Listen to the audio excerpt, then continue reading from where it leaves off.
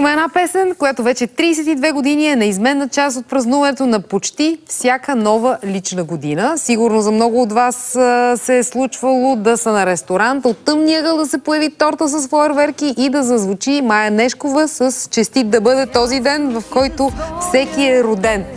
Защо тази песен е станала жертва на цензура в края на 80-те, ще разберем сега от Косио Филипов. Здравей, добре дошъл. Здравей, Деси. Но преди песен... това да разберем а, твоята първа среща с Майя Нешкова. Кога, как и защо се е случила? Ако песента е на 32 години, моята първа среща с Майя Нешкова беше точно преди 35 години, когато нейната звезда изгрява.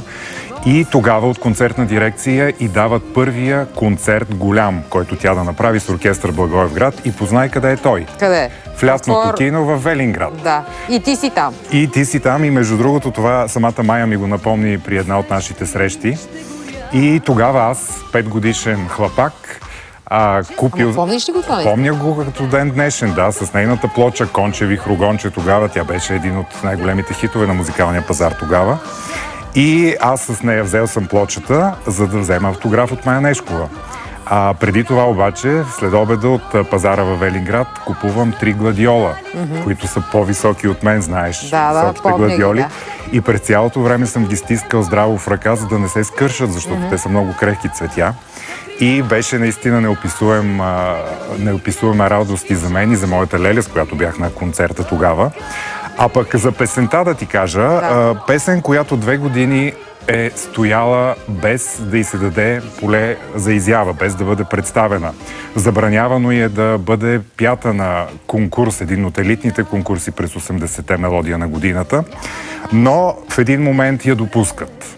И а, жури в, а, от най-маститите имена тогава в родната естрада, композитори и изпълнители, след, сред които са Йорданка Христова, Панайот Панайотов и покойния Вили Казасян, 4 минути не могат да решат каква оценка да поставят на тази песен, а пък предния ден цяло Велико Търново, където се е провеждал и конкурса Мелодия на годината, знае, че си има хит. И това е песента на Майя Нешкова «Честит рожден ден».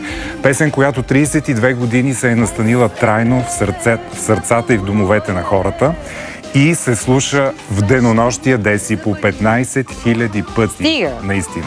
Добре, аз предам сега да чуем Майя Нешкова какво сподели пред... Нека да чуем и от Кирил Икономов какво го е чакало журито на този конкурс, ако не са ги извели от задния вход. Хайде!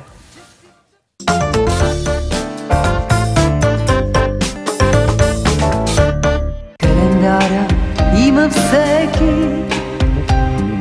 място и за своя ден. Знае си от край човека,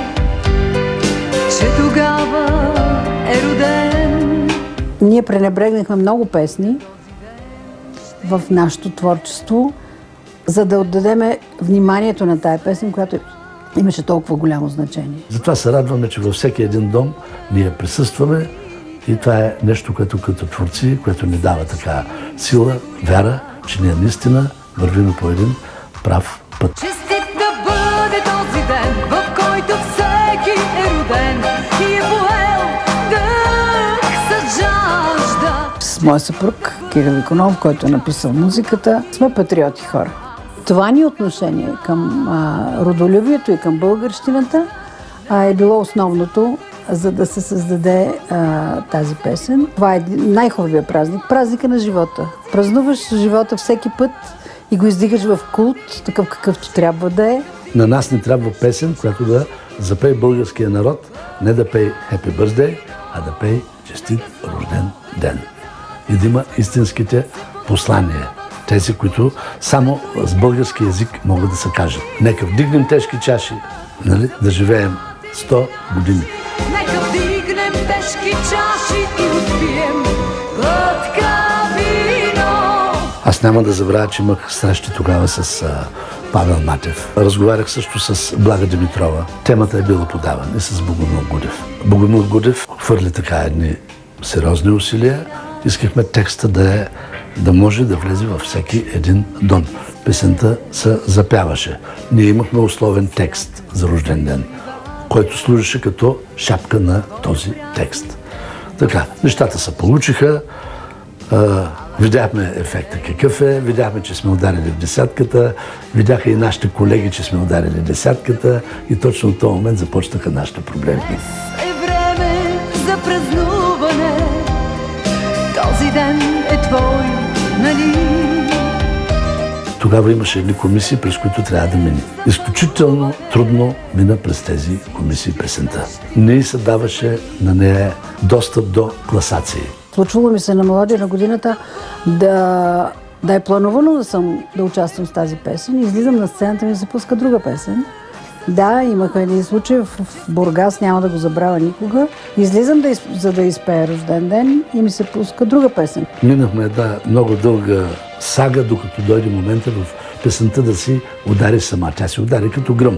Мелодия на годината беше 90-та година, а две години преди това беше създадена песента, която чакаше две години за да стигне до там. Предишния ден залата беше категорична и Май беше фаворит. И Търново беше в абсолютна радост, че си има хит, че си има мелодия на годината. В а, мелодия на годината беше големия скандал, на който ме класираха на последно място. Публиката беше през цялото време плътно до Майя. Тя дишеше с Майя. Тя, тя, всичко беше както трябва. И в един момент журито трябва да вземе решение. Четири минути журито обяви, накрая обяви, че, че, че честит рожден ден е последна по жури. Моля журито да пристъпи към гласуването по първия показател за песента Честит рожден ден. 180 точки. Аз пък тогава направих един такъв демонстративен жест в защита на публиката. Слязах при публиката и казах, песента е моя и ваша, не на журито.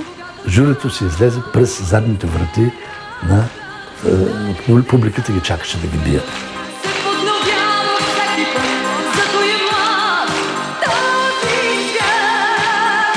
Ние се обичаме страшно много публиката на Търново, защото тя показа тогава мускул. Тя показа, че или нещо се ражда и се прави за, за хората, или фактора. Жури, това е един мъртъв фактор. Тя не спечели и отиде на последно място, но пък аз съм щастлива, че това е моят начин на контакт с публиката ми. Аз знаех преди да почне самата мелодия, на мене ми казаха какъв е резултатът, не исках да го казвам на Майя. Но преди да излезе Майя на сцената, аз си казах, ти излизаш и пееш за публиката. Не се съобразяваш с никой. Първият сапунен сериал, който се излъчваше в България, беше Рабината Изаура. И няма да забравя, а, имам концерт в Пазарджик, в деня, в който дават последна серия на Рабинята Изаура. А по това време имаше ли сериала, улиците се изпразваха. И някой ми прошепна, бе, ти какво правиш, нали? Казвам, въобще не съм, това въобще не ни е минало през акъла, нали? Дават ни дата от Пазарджик, отиваме. И не знам и Рабината и Зара дали я гледаха, защото залата беше така, защото за първи път в Пазарджик си представих рожден ден.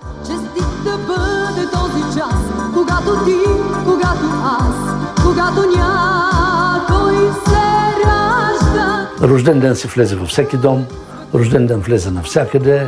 Тази песен сложи капака на всичко. И ние така а, има много създадени, много песни за рожден ден има създадени, нали, с цялото си уважение към всички, които са ги създавали, но честит рожден ден си остана отгоре. При мен е пристигала такава статистика, че звучи по 15 000 пъти на ден, на денонощие. Понякога ми е мъчно, че съм свързана само с тази песен, нали? Иска ми се, защото имаме и други прекрасни песни, но важното е, че че българина усетил в тази песен това, което ние сме вложили в нея.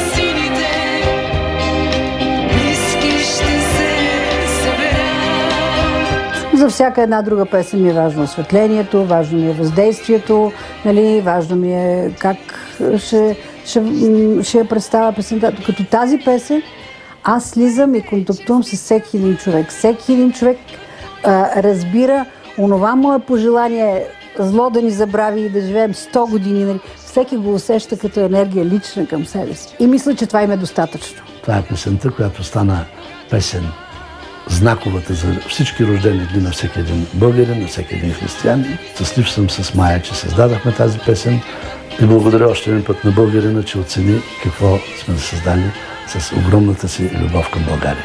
Чувствам се благословенна. Дай Боже и някоя от другите ни песни да стане такава и да има това значение за духовното израстване на хората. Песента Честит рожден ден за мен е една сбъдната мечта.